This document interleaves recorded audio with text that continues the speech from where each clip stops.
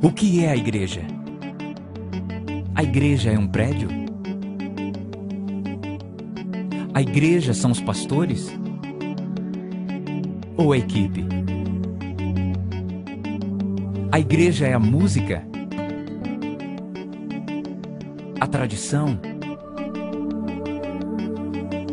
Ou os ministérios?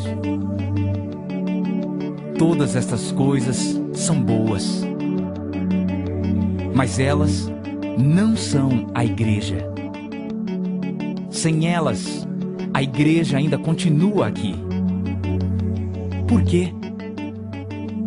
Porque você ainda está aqui. A igreja é você. A igreja é você com um propósito.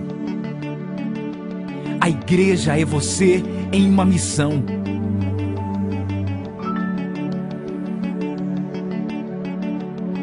A igreja é você com um plano, um plano simples de estar ligado a Deus com os nossos serviços, de liderar uma célula, de viver usando os seus dons e paixões e passar a sua fé para aqueles que não conhecem a Cristo. Quando você e eu vivemos desta forma, todas as coisas que costumamos fazer na igreja tornam-se coisas que fazemos como igreja. Deus deseja isto. O mundo precisa disto. E nós somos chamados para ser isto. O que é a igreja? A igreja é você.